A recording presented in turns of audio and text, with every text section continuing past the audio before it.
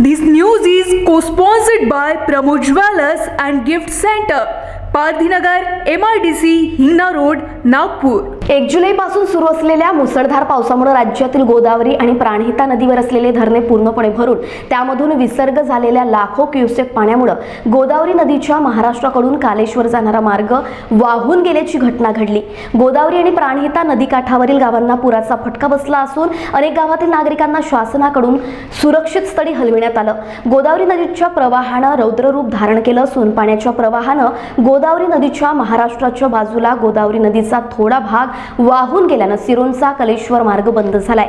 गोदावरी नदीचा पूल सुरक्षित असून कालेश्वर जाणारा पुलाला लागलेला मार्ग पाण्याच्या प्रवाहानं वाहून गेलाय. महाराष्ट्र टीव्ही ट्वेंटी फोरसाठी रविकुमार येमुरला सिरोंच्या. आपल्या सौंदर्यात भर पाडण्याकरिता प्रमोद ज्वेलर्स घेऊन आल्यात आकर्षक दागिन्यांचे भव्य दिव्य कलेक्शन. चला तर मग तयार होऊयात. प्रमोद ज्वेलर्सच्या दागिन्यांनी नटायला.